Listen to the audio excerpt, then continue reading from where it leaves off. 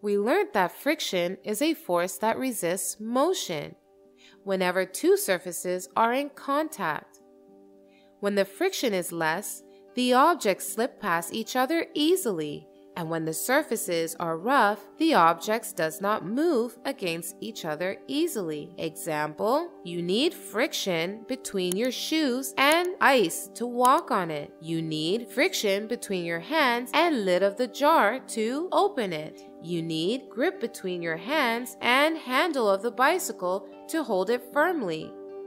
You need friction between your shoes and paddles of the bicycle to paddle it and you need no friction between you and the slide to enjoy the ride. You need no friction between the striker and the board to play. You need no friction between the ball and the surface for bowling.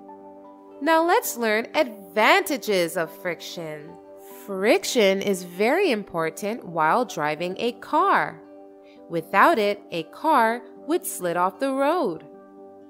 On a dry road, there is a lot of friction between the car tires and the rough road surface.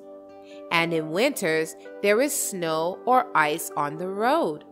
That makes the surface of the road very smooth, and there is little friction between the tires and the road, because of which the tires may slip off the road. This is why we need winter tires. Winter tires have special grooves to increase the friction in snowy and icy conditions. Friction also produces heat. When we rub our hands, it produces heat, which warms our hands. Friction between our shoes and road helps us to walk. Without friction, we will slip or fall. Friction helps to prevent the tires from slipping on the road because wheels need friction to have grip on the road and move forward. This is the reason the tires have grooves to produce sufficient friction. Now, let's learn disadvantages of friction. Friction makes it difficult to slide heavy objects on the floor. Every machine has several parts that move together or rub against each other, because of which a lot of heat is produced in the machine and damages the machine.